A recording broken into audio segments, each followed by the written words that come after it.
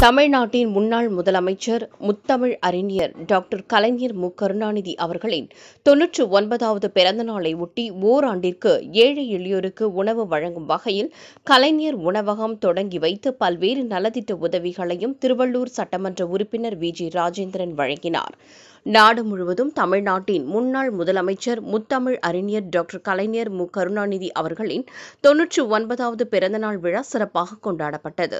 அதன்படி திருவள்ளூர் நகராட்சி வளாகத்தில் தமிழ்நாட்டின் முன்னாள் முதலமைச்சர் முத்தமிழ் அறிஞர் டாக்டர் கலைஞர் மு. கருணாநிதி அவர்களின் தொன்னூற்று ஒன்பதாவது பிறந்தநாள் விழாவை முன்னிட்டு திருவள்ளூர் சட்டமன்ற உறுப்பினர் வி. ஜி. ராஜேந்திரன் தலைமையில் மு. கருணாநிதியின் திருவுருவ படத்திற்கு மலர் தூவி மரியாதை செலுத்தினார். இதில் நகராட்சி ஆணையாளர் ராஜலட்சுமி நகர்மன்ற தலைவர் உதயமலர் பாண்டியன் துணைத் தலைவர் சீசு ரவிச்சந்திரன் கடம்பத்தூர் ஒன்றிய கழக செயலாளர் ஹரிகிருஷ்ணன் மாவட்ட வழக்கர் அறிஞர் பிரிவு பி. கே. நாகராஜ் பகவதி ராஜா திருவள்ளூர் நகரமன்ற உறுப்பினர்கள் மற்றும் நகராட்சி அதிகாரிகள் உள்ளிட்டோர் கலந்து கொண்டனர். அதைத் தொடர்ந்து திருவள்ளூர் சட்டமன்ற உறுப்பினர் அலுவலகத்தில் திருவள்ளூர் சட்டமன்ற உறுப்பினர் வி. ஜி. ராஜேந்திரன் பொதுமக்கள் மற்றும் தூய்மை பணியாளர்களுக்கு பல்வேறு நலத்திட்ட உதவிகளை வழங்கினார். பின்னர் கலைஞரின் தொன்னூற்று ஒன்பது முதல் நூறாவது வயது வரை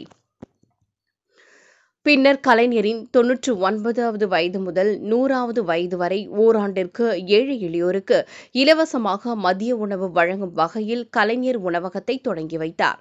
அதற்கு முன்னதாக கடம்பத்தூர் கிழக்கு ஒன்றியம் விடையூர் கிராமத்திலிருந்து திருவள்ளூர் வழியாக பேருந்து வழித்தட எண் நூற்று முப்பத்தி எட்டு பேருந்தை பொதுமக்கள் பயன்பாட்டிற்காக தொடங்கி வைத்தார். இதையடுத்து மாவட்ட ஆட்சியர் பெருந்திட்ட வளாகத்தில் வனத்துறை சார்பில் ஆயிரம் மரக்கன்றுகள் வைக்கும் நிகழ்ச்சியிலும் பங்கேற்றார். தமிழ் தமிழகம் முழுவதும் நகரங்களிலும் கிளைகளிலும் திமுக கொடியேற்றி கலைஞர் அவர்களின் திருவுருவப் படத்தை திறந்து வைத்தனர். அந்த வகையில் திருவள்ளூர் அடுத்த கீழ்நல்லாத்தூர் பகுதியில் கழக கிளை முருகன் தலைமையில் கலைஞர் அவர்களின் திருவுருவப் படத்தை திறந்து வைத்து கொடியேற்றி வைத்தார்.